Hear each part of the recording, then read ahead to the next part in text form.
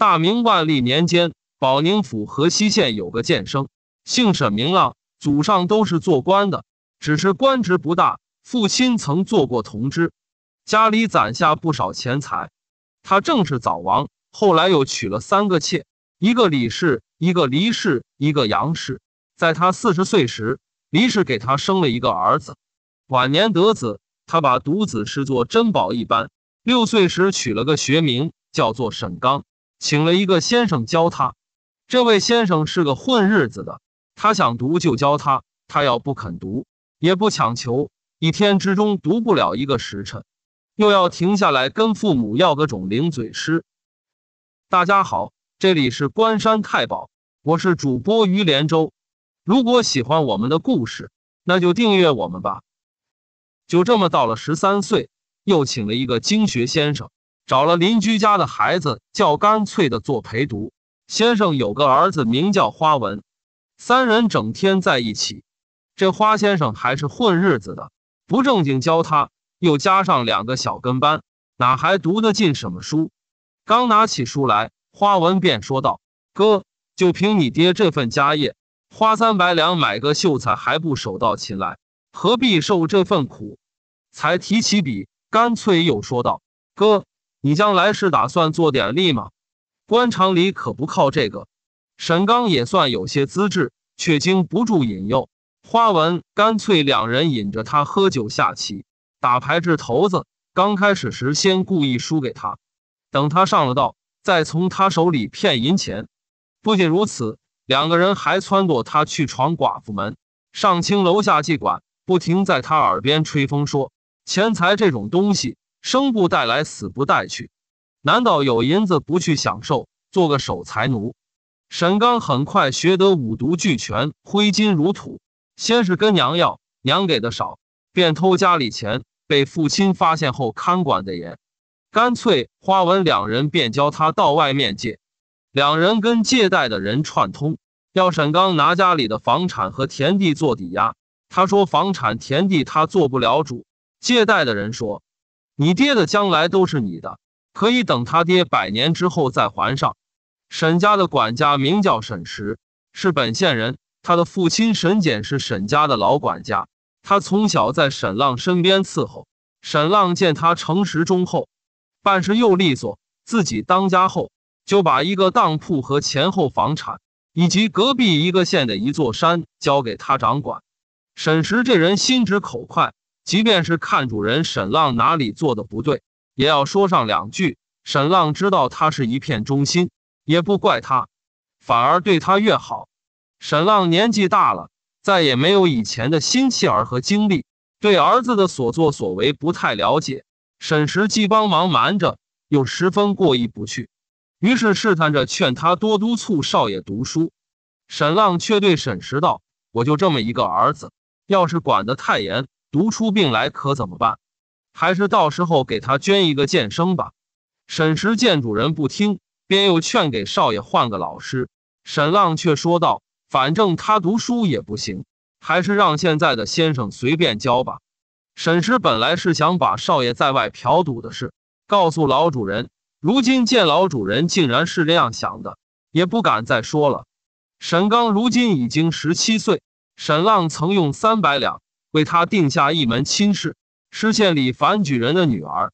樊举人家里富裕，却经常来借钱。每次会试，沈浪都会送去一份大礼。几年下来，花了不下五六百两。沈浪想让儿子尽快把媳妇娶回家，找到樊举人商量，也不知道是不是樊举人故意刁难，对沈浪说道：“我好歹是个举人，几个亲戚的儿子至少也是个秀才。”你那儿子如今连个童生都不是，还是等等再说吧。沈浪再三去说，反举人都不肯答应。沈刚见媳妇没着落，到青楼去的次数就更多了。花先生怕得罪了他，丢了饭碗，也不管他。花文和干脆这两个伴读的，心里想的是怎么从沈刚手里多骗银子，哪管他银子怎么来的。嫖赌之外，还撺掇他打首饰、做衣服。借下的债何止千两，这些也不知沈浪知不知道。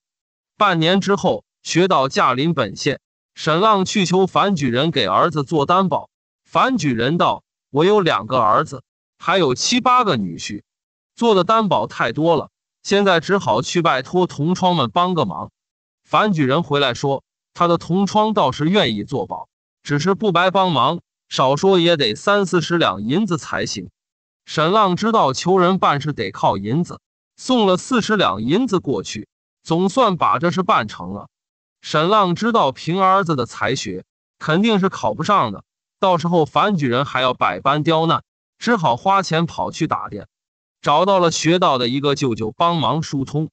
沈浪和这位舅舅匆匆见了学道一面，舅舅进去了一会儿，出来说：“老爷已经一应承下了，先找个僻静的地方把银子封起来，到时候送写好的卷子进去给他抄，保证万无一失。”沈浪高兴的不得了，连忙从家里取了三百两纹银。到这位舅舅指定的城外化生寺去封。就在两人正对银子时，突然有一群人闯了进来，不仅把沈浪带去的银子全都抢走了，他还挨了顿打。那个所谓的学道的舅舅也不见了。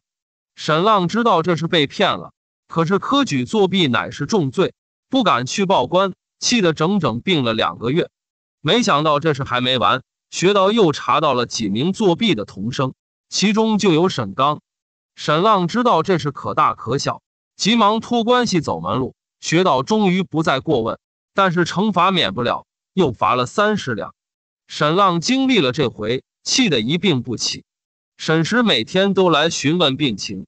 沈浪对他道：“我因为老来得子，对他过于宠溺，不听你的劝，没有好好教育他，也没有给他选个好老师。如今想来，后悔莫及。”他还年轻，我沈家这一脉人丁单薄，宗族里也没个叔伯兄弟帮衬。他那个岳父樊举人只会借钱，将来肯定也不会管他。我想了想，也只有你能帮扶他了。他现在什么样子？你不说，其实我也听到一些。那些田产租息以及当铺中的利银，你要好好看管，家里够吃够穿就行，不要多给，免得被他挥霍。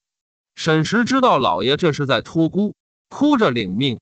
没想到沈刚和他的母亲离世，在旁边听了，觉得老爷没把家业交给儿子，反倒交给一个外人，心里暗暗恨上了沈石。等到沈浪病逝后，官练都是沈石忙前忙后，他担心沈刚少爷之后要守孝，娶亲的日子恐怕要拖到两三年后，便找人到樊家去说，希望能在沈浪下葬前。先把婚事给办了。要说樊举人可是个精细鬼儿，趁机开出各种条件，最终一文钱嫁妆都没出，只把女儿送了过来。婚丧之事都是沈石在主持料理。沈刚母子心里很不高兴，离世道：“我是主母，怎么用钱的时候还要像一个家奴要？”沈刚在外边欠下了巨债，本来约定等父亲百年之后还，债主们上门逼债。沈石按照老爷临终嘱托，一分都不给。沈刚只能去求母亲，把母亲身边的银子掏空，才算勉强还了债。沈浪还没有下葬，沈刚正在想用什么名义问沈石要银子，又听信花纹、干脆两个人的撺掇，说他家祖坟风水不好，需要另寻吉壤。其实是花纹和干脆两人串通一个风水先生来到沈家。说他家富而不贵，都是因为祖坟官星不显，路线马空。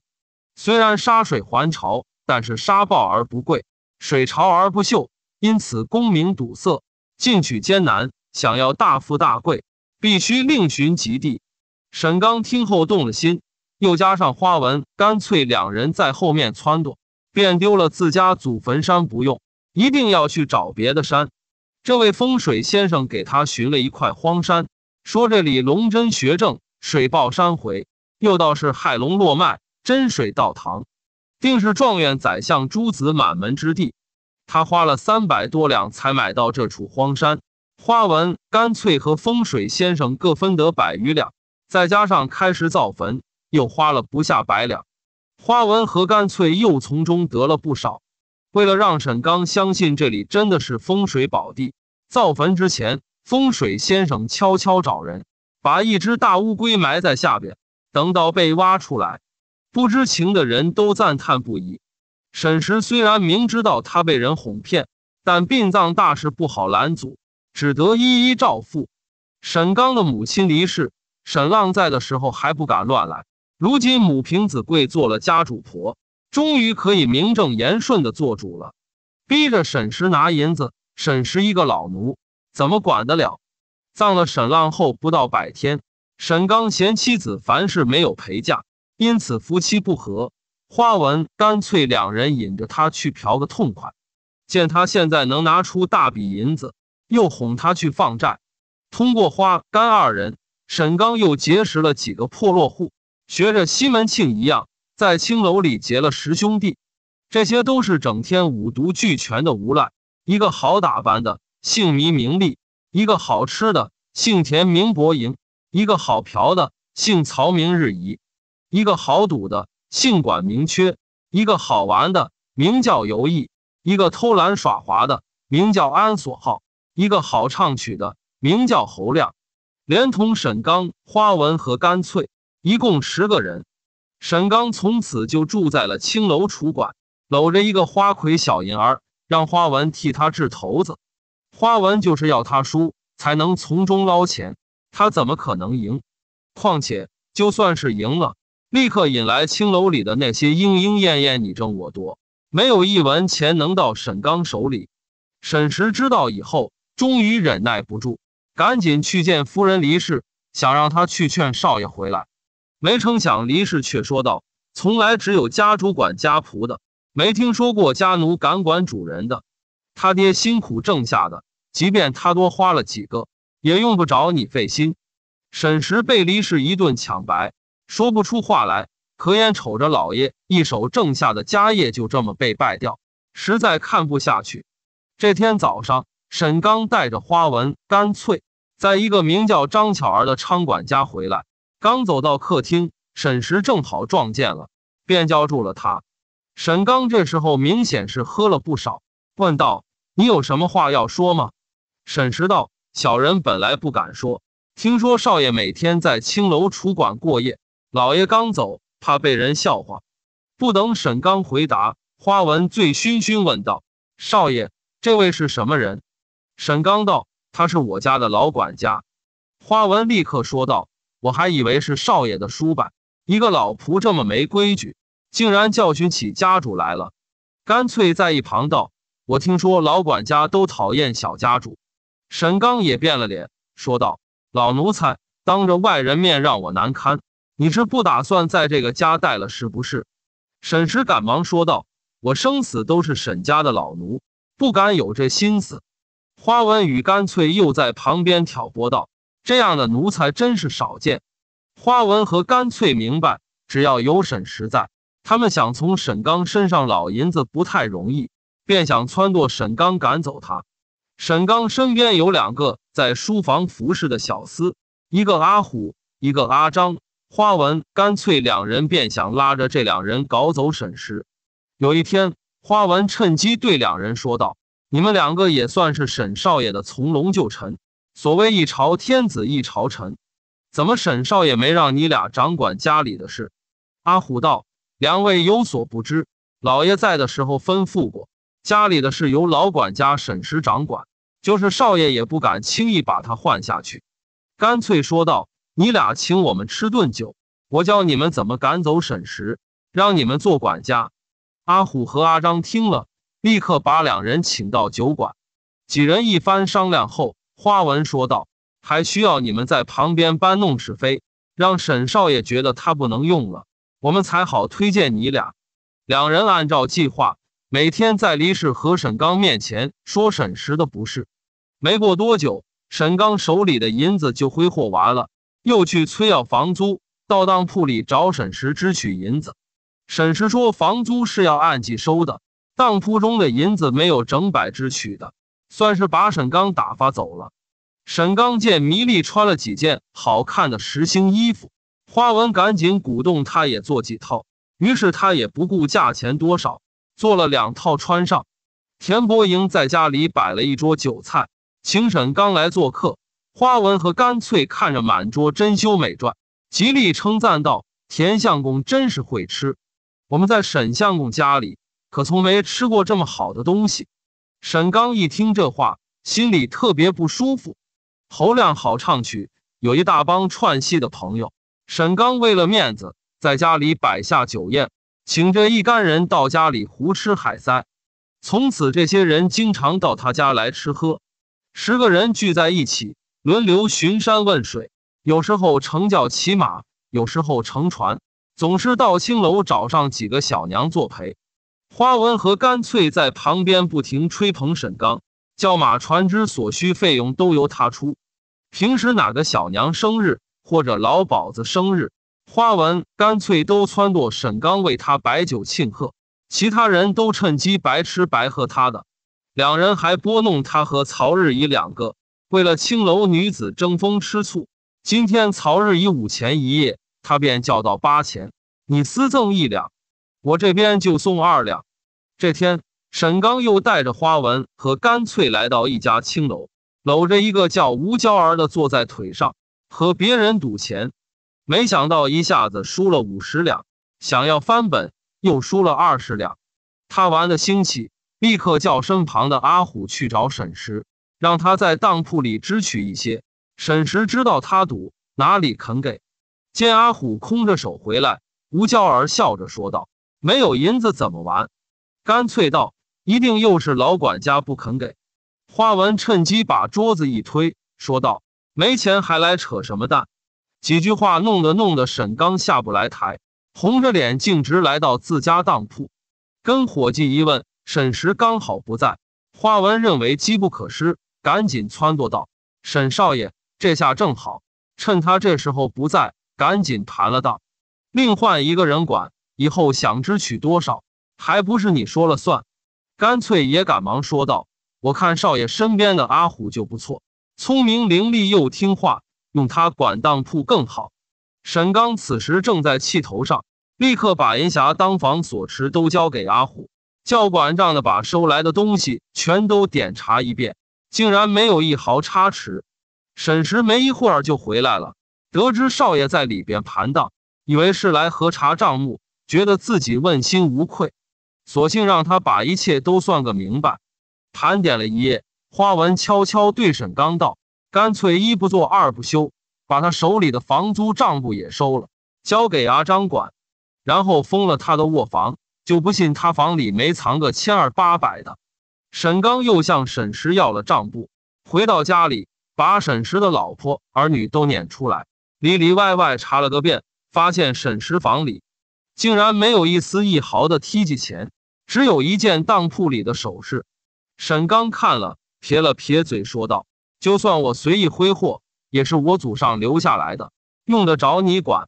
本来要送你见官，念你在我家这么多年，就算了吧。我听说家里在云台离堆两座山上，还有一些产业，那边一直荒着，没人照管。你去清理清理，房里这些东西我都不要了。你带着妻小赶快走，不要惹我生气。”这时候家里还有沈浪留下来的三位主母。黎氏本来就恨沈石，李氏整天吃斋念佛，从来不管闲事。杨氏看黎氏母子挥霍无度，知道将来肯定要败家，琢磨着赶紧另找出路。没了老管家，正好方便行事，所以没一个人出来替沈石说话。沈石带着老婆秦氏和儿子关宝，在沈浪灵前叩了几个头。又辞别了三个主母，拜别了小主母樊氏，到山里去了。沈石走后不到三个月，沈刚肆意挥霍，已经有点转不开。加上管事的阿虎从中贪了不少，只好把当铺里的东西转当到大当铺里。又过了两个月，沈家当铺就只取不当了。沈石管房租的时候一直相安无事，换了阿张以后，那些租客看现在的掌柜年轻。慢慢跑去请他喝酒，吃人嘴短，拿人手短。租客拖欠租金，他不好意思去要，也就收不上来了。花纹和干脆两人的盘算是：既然这两个买卖收不来银子，就撺掇他变卖房产田地，引着他去嫖赌，交结朋友，这样自己就能在中间捞银子。沈刚的妻子樊氏见丈夫被这两个无赖引诱去嫖赌，心里也不高兴，时常劝他不要再跟这些人混在一起。沈刚哪里听得进去，依然吃喝玩乐，几乎不回家。沈浪去世不到三年，家业被儿子沈刚几乎败光，典当行关了张，田产卖了七七八八，还有一些平日放在樊举人名下的，樊举人凭着自己试试身，也改到了自己名下。常言道，败家子有三变：开始是蛀虫，吃掉家里的衣饰家具物件；接着变成蝗虫，吃掉田地产业；最后变成老虎，要吃人。沈浪生前开着当铺收着租，还在外面放债。如今他的儿子沈刚要还债，拿着家里的东西出去当，这叫做蛀虫。之前沈浪趁低价买了他人的产业，如今沈刚要还债，贱卖给别人，这叫做蝗虫。眼看沈刚就要变成老虎要吃人了，李氏早早的占了家里后院的一个小花园，里边有三间书房，他在那里出家了。杨氏瞅准时机另嫁他人，奴婢仆人看他家败，也都逃走了。家里只剩下母亲和媳妇。母亲离世，眼见儿子越来越混账，怎么劝都没用。后来忧郁成疾，半年前病逝了。外边结交的那些狐朋狗友、酒肉兄弟，渐渐不再搭理他。青楼橱馆里的那些小娘，看他没钱了，见了他都翻白眼。就是花纹和干脆这两个。掏空了他以后，也不到他家来了。沈刚整天待在家里无所事事，妻子凡事劝他做点买卖养家。到了这时候，他看清楚了，想明白了，也后悔了，也想要振作，不想被人骂作败家子，于是把剩下的房产变卖了，得了五百两银子，还了一些债后，还剩下三百两，想先买个小房子住，然后再寻出路。花纹和干脆两人听说沈刚卖了房子又有钱了，就又想着弄他。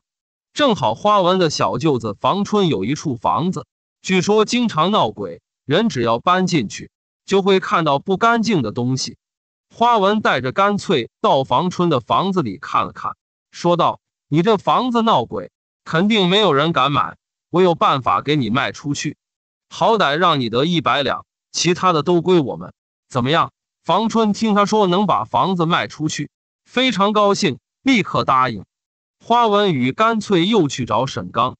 沈刚这人还真是记吃不记打，被两人骗了这么多年，竟然还相信他们。约定明天就来看房。花文找到房春，让他买来几壶上好的烧酒，全都泼洒在右厢房。房春问他这是要干嘛，他说自有妙用。等到沈刚来看房时，花纹和房春领着他四处看，干脆悄悄溜进右厢房，点了火，地上出现了若隐若现的火光。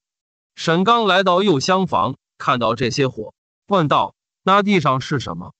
花纹和干脆假装看不见，对房春说道：“这几件破坛子和大缸，马上给沈兄搬出去。”沈刚心里暗想：听说只要是地下有火光，就表示地底下埋着金银。他们都看不见，看来是老天爷送给我的。沈刚问房春多少银子卖，房春说要二百五十两。花纹和干脆假装帮忙砍价，说到了二百两。沈刚贪图地下的金银，没有再压价，立下了契约。买卖成了，沈刚免不得要请花纹、干脆这两个中间人喝顿酒。刚买的房子需要整理，又花掉了近五十两银子。沈刚的妻子樊氏见身边只剩下不到一百两银子，心里十分惆怅，怨他不会算计。沈刚听后笑着说道：“搬过去你就知道了，到时候我还是个财主。”两人选了个好日子搬了过去。沈刚便把地下埋银的事告诉了妻子，妻子不相信，说道：“你要是有这个福分，也不至于落到今天这样。”到了晚上一更天时。沈刚把妻子叫醒，拉着他来到右厢房，挖了一个大坑，却什么也没有挖到。沈刚不死心，又到左厢房去挖，还是什么也没有挖到。凡是不愿意再挖，回屋睡了。沈刚又在其他屋子里挖了五六个大坑，都有二三尺深，仍然什么都没有。连着挖了两三个时辰，沈刚累得腰酸背痛，回屋躺到榻上，很快就睡着了。睡梦中的沈刚突然听到有人敲门，睁开眼一看，天已经大亮。打开院门一看，竟然花文和他的小舅子。沈刚问两人来干什么，花文笑着说道：“我这小舅子五更天就来敲门，说是昨晚做了一个梦，梦见他母亲告诉他。”在厢房埋藏着大笔银子，昨夜被新房主全都挖出来了。我一向不相信有这种事，他一定要拉我来。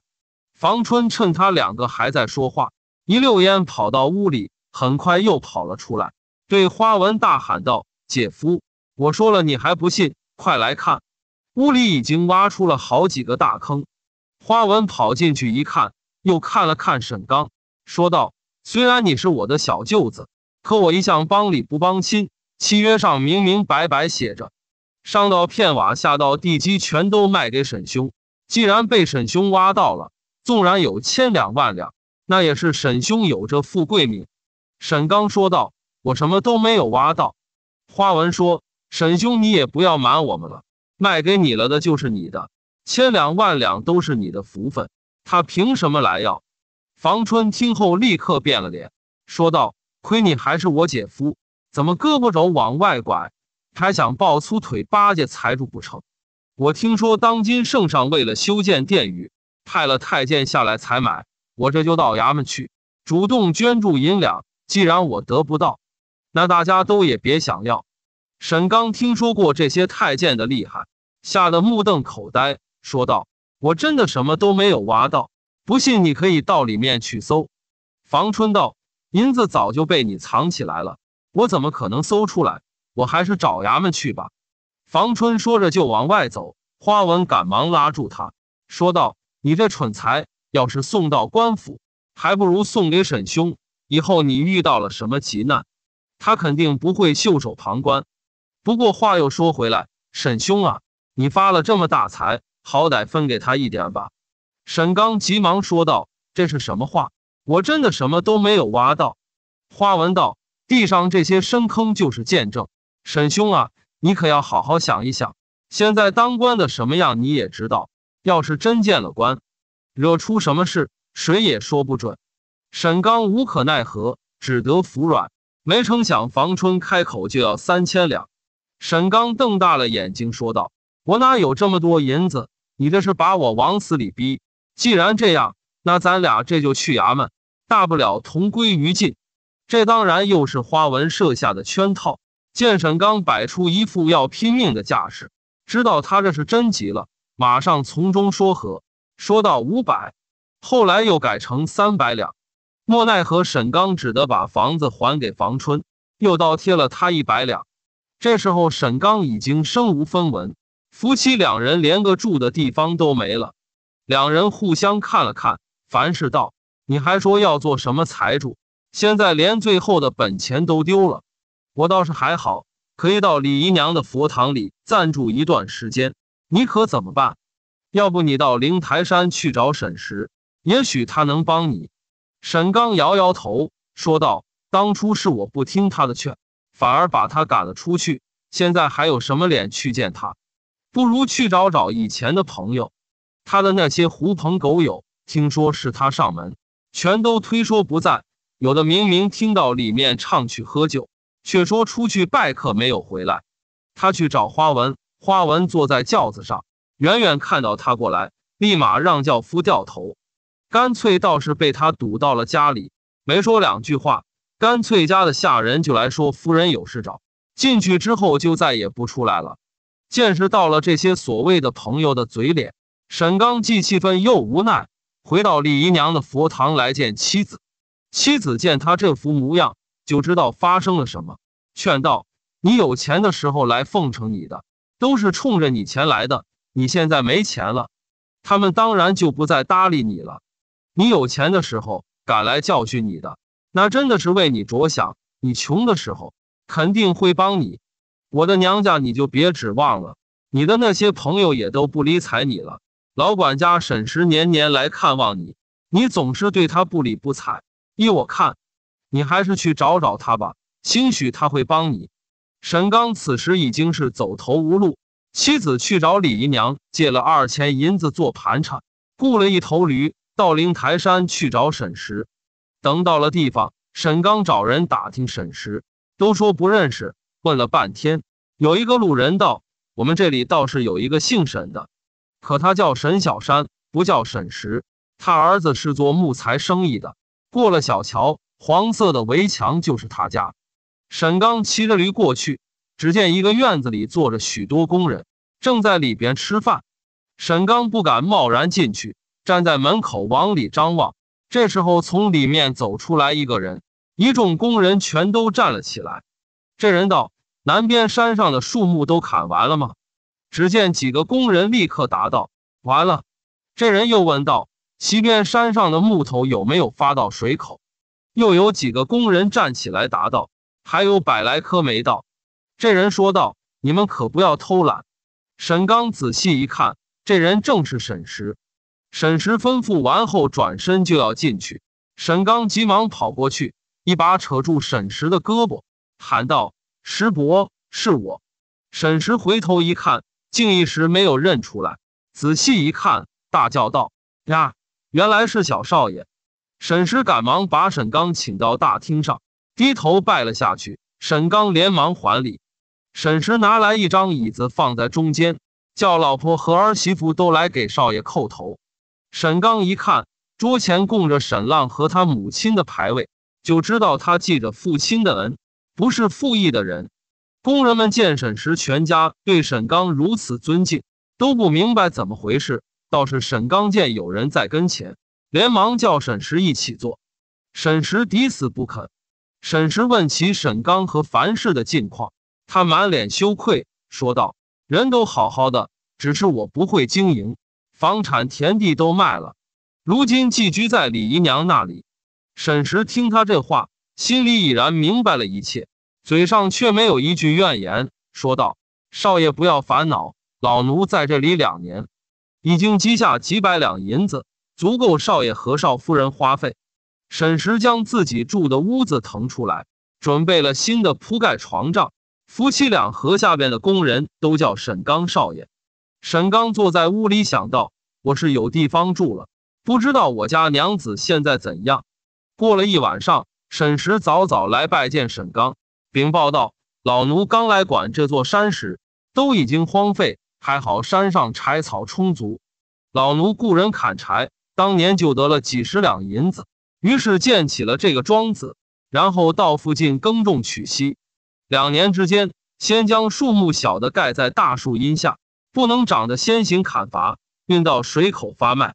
两年来得了七百余两银子，老奴全都一一记下。现在有商人来买黄木，每株三钱，老奴已将山中较大的树木给了他们，合计有五千棵。先收定银五百两，还欠一千两。等树木运到黄州，再把银子取回。我让儿子关宝跟着他们去了。这样算来，自老奴到了这座山，每年可出店租三百余两，可以供给少爷吃住，还有银子一一千余两，可以用来赎回祖业。少爷放宽心。沈石说完，捧出一个小箱子交给沈刚，里面是这些年的出入账目。都记得清清楚楚。沈刚看了，说道：“这里有你在，我来占了，心里实在不安。我想把祖上的房产赎回来，你看行不行？”沈石说道：“我人是沈家的人，房产是少爷的房产，这些银两也是少爷的银两。现在就跟少爷一起去把沈家的祖产赎回来，先把少夫人接到这边住下，然后把房产赎回。”以后老奴为少爷好好经营。沈刚道：“好，好，好！我之前瞎了眼，把当铺交给阿虎，他和管当的人串通，背地里把东西全都换了，让阿张管房产。他每天到租户那里骗酒喝，分文没有要回来。现在我把家里的事都托付给你，以后全都听你的。”沈石和沈刚带了银子去赎祖产，幸亏买家不是用作自己居住。愿意让他买回去，有沈石在，只花了些中间人的酒水费，共用了七百多两。听说沈刚赎回了祖上老宅，花文和干脆两人以及那些所谓的十弟兄，又都找上门来看他。沈刚没给他们好脸色，因为老宅被之前的买主租给了别人，一时腾不出来。他们夫妇两个搬到了灵台山的山庄居住。花文和干脆两人见他把家产败了精光，如今又有钱赎老宅，于是假借探望的名义来到山庄。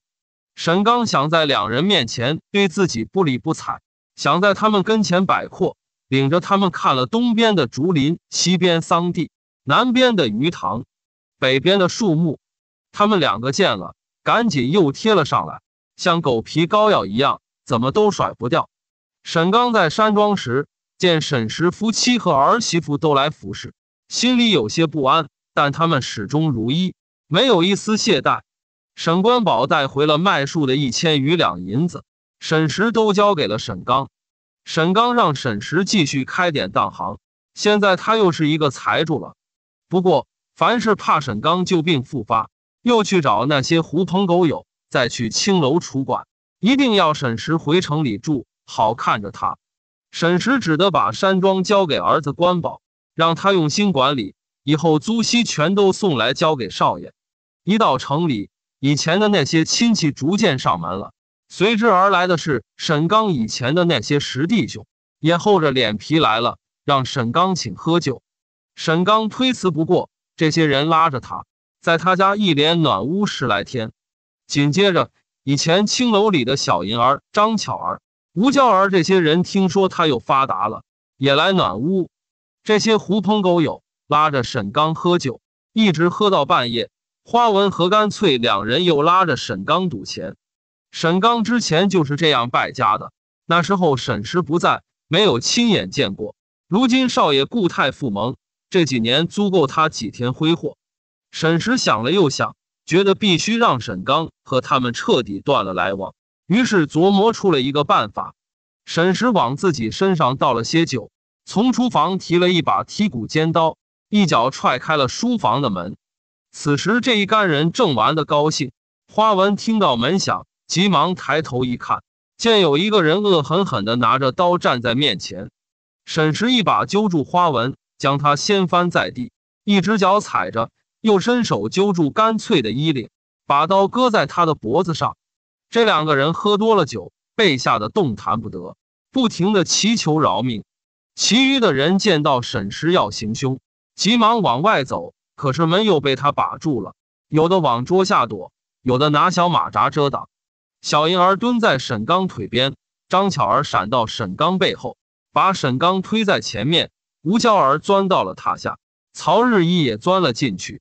吴娇儿道：“可不能开这种玩笑。”沈石大声喊道：“都是你们这些人，哄得我家少爷败尽了祖业。如今我少爷已经改了，可你们借着来给他暖屋，找这些婆娘带上门，又引他赌。我现在就把你们一个个都宰了，看你们怎么害我家少爷！”田伯英吓得坐在桌前一动不敢动。沈石先把他一脚踹倒，接着就冲着干脆来了。沈刚赶紧劝道：“师伯，我知道你这都是为我好，只是杀了他们，我也要受连累。”沈石道：“不关少爷的事，到时候我自己到衙门自首，绝不连累少爷。”干脆只喊饶命，说以后再也不敢来了。要是再来，就让他摔断双腿。花文也发誓，要是再来，就让他烂眼珠。沈刚也诅咒发誓道：“我以后再也不跟他们来往。”若为此事，不得好死。沈刚慢慢站起来，夺下了沈石手里的刀。沈石说道：“好，我听我家少爷的，饶了你们的狗命。要是以后再来引诱我家少爷，我就是拼了这条老命，也不会跟你们善罢甘休。”沈石冲这些人喊道：“还不快走！”十弟兄们吓得浑身发抖，连滚带爬出了沈家。那小银儿、张巧儿、吴娇儿都吓得腿软。互相搀扶着走出了门。凡是见这些人领着娘小在家里，又是喝酒又是赌钱，心里也在骂他。突然听到外面喊打喊杀，赶忙出来看，见那些人连滚带爬出去了，便来到书房对丈夫说道：“之前这些人哄着你，把家产败个精光。那时候他们哪个理你？幸亏有沈伯为你赎回祖产，你怎么又招惹这些人在家里胡来？沈刚道：“前几天这些人来，我也不想搭理他们，可是他们说给我暖屋，我实在推脱不过。今天他们来，我并没有和他们一样，头子都没碰。凡事道，只恐怕见人吃饭肚肠痒。现在忍得住，以后时间长了就不一定了。”沈刚道：“我已经发下毒誓了。”两人正说话，沈石走了进来，在沈刚身边叩下了四个头，说道：“老奴今天惊吓了少爷，不是不给少爷体面，只是怕这些人图少爷的银子，再害了少爷。老奴让少爷丢了面子，请少爷惩治。凡是道相公之前就是放不下面子，才摆脱不了这些人，以至于家业败尽。你这么做不仅没错，反而有大功。”沈刚知道沈石是为自己好，把他扶起来，说道：“我正想着怎么和这些人断绝来往，你这么一下，正合我意。以后我在家里好好看书，再不出去瞎混了。”从此以后，沈刚把家里的事都交给沈石，再也不外出。那些人想找他，又不敢进来。以后慢慢就不再来往了。后来，沈石找了一个老学究，认真读书，又替他纳了监。跟他一起上京，再做了长沙府经历，也算是浪子回头。沈石后来活到了八十二岁，一直为沈家看管家业，没有贪过主人一分一毫。他的儿子关宝也和他一样忠心耿耿。沈刚看他父子俩忠心耿耿，还了他父子俩卖身文书，恢复了自由身，把关宝当作兄弟般看待。要是没有沈石在山里无怨无悔苦心经营，沈刚这个败家子早就不知道倒闭在哪个臭水沟里了。